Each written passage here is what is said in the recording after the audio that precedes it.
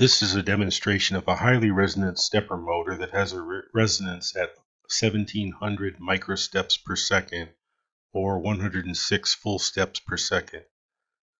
Using closed loop encoder feedback with a high derivative feedback gain can actively dampen the resonance significantly. This is the high derivative gain. The high derivative gain and also I gain causes some instabilities in dither at stopped and low speeds, so a C program is used to disable D and I gains below certain speeds.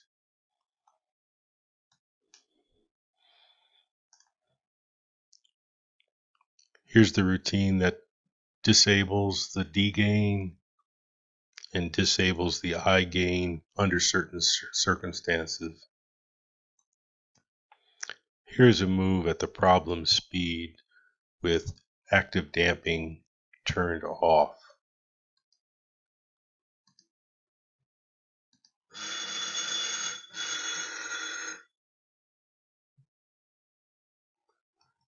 Notice about plus minus seven counts of vibration. Now we go to closed loop step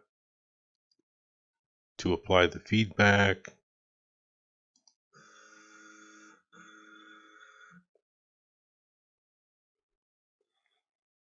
Much lower vibration.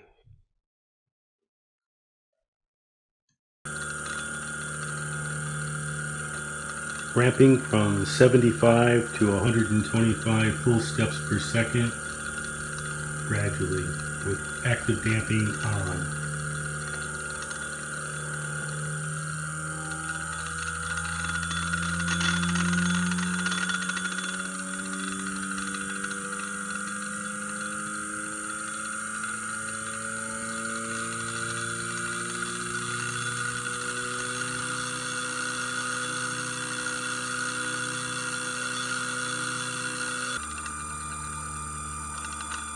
Ramping from 75 to 125 full steps per second, gradually with active damping off.